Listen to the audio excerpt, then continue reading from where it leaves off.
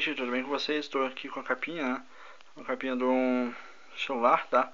Ela é preta, mas com brilho, né? Um pouco de brilho. Dá pra ver um pouquinho o brilho dela. Eu vou ensinar você a customizar de um jeito simples, tá?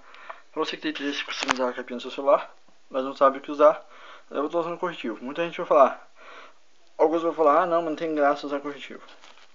Eu vou mostrar que sim. Por exemplo, aqui. É, vou ajeitar direitinho aqui certo? Aqui tá a capinha, tá bom? Você vai pintar, por exemplo, se eu quiser fazer um coisa assim, ó. Faz um desenho assim, certo? Tá? Ah, né? Fazer um desenho assim. Vou fazer tipo um isso aqui. Tá? Ah, mas é, você vai mostrar toda a pintura. Bom, eu vou explicar o básico. Para você pintar corretivo, você passa suaves camadas, né? Não precisa aplicar tudo de uma vez. Espera secar, tá? É, aqui eu vou fazer o desenho e já volto para mostrar para você. Mas só você aplicar com o desenho que você quiser, pode usar fita isolante para secar. Fita isolante para secar com um Bom, eu estou finalizando a capinha aqui, ó.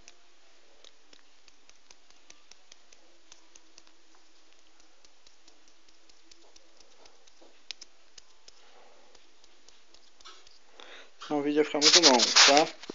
Eu pintei, por exemplo, aqui, eu vou só terminar aqui embaixo. Tá, dá pra ver que eu pintei minha calça também, mas... Tá bom, o que acontece? Como eu vou fazer isso aqui pra segurar a tinta no lugar? Deixa eu explicar.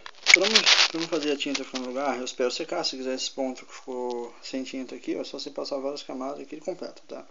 É, como que eu faço para isso aqui ficar no lugar? Eu pego cola, branca normal, uh, venho com o pincel suavemente passando por cima aqui, tá? Suavemente, em camadas finas, né? Eu passo bastante cola, espero secar de uma camada para outra, tá? Não fico retocando essa parte uma vez, aí espero secar, passo outra, tá? Assim que a cola começar a secar, você deixa. Uh, você pode passar, eh, como chama aquele negócio? Base de unha, né? Uh, de esmalte mesmo, né? Se você quiser. Uh, ou se você preferir, se você quiser, você pode passar cola de madeira, mas aí não vai sair não, tá? A cola de madeira você passou, ela fica. Então, passou cola de madeira, vai ficar o desenho que você quiser. Ah, a cola branca tem umas que saem com água, a cola de madeira não sai. O, a base de, de unha, ela não sai com água com facilidade, tá? Quase não sai. Pode usar também se quiser um verniz, mas verniz não precisa, só passar isso. Tem verniz em spray também se quiser, pode usar. Mas aí, no mais fica assim, tá? Assim que assim já não sai com no, no, dia a dia, só passando. Se você misturar cola no, no como chama isso aqui, no corretivo, ela fica dura, aí você passa mais cola por cima, fica praticamente um tempão. Tá? É só para customizar, customização simples para você fazer na sua capinha. É do jeito simples assim para você usar, ó, dá para ver que foi uma coisa feita assim. É, tô sem, eu não tenho tripé, aí eu pauso, faço a parte, volto a gravar. Eu pego geralmente tripé com o irmão. Então, como não tem tripé, eu pego tripé com o irmão ou apoio em algum lugar, apoio em algum lugar para filmar.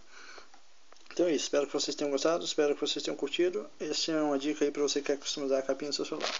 Se você já viu de como limpar, esse é para customizar. Falou? Valeu!